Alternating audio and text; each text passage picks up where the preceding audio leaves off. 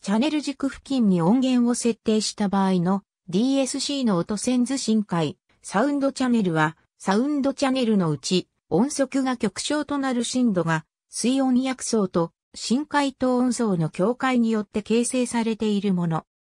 ソホルチャネルとも称される。ハワイ諸島北方の太平洋の音速プロファイル。DSC は、深度750メートルに出現している。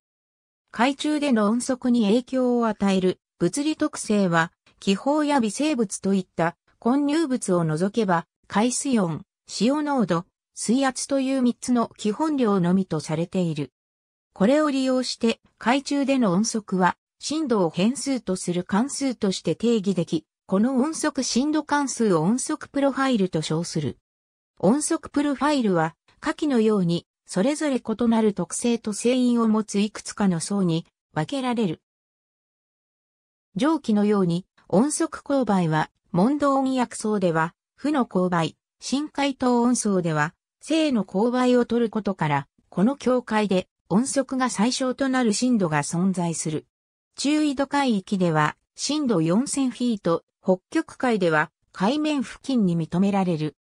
この音速極小点は、音線に対して一種のレンズのように働くため、この層の中で放射されたエネルギーは、チャネル内に止まり、海面や海底への反射による音響的損失を生じにくい。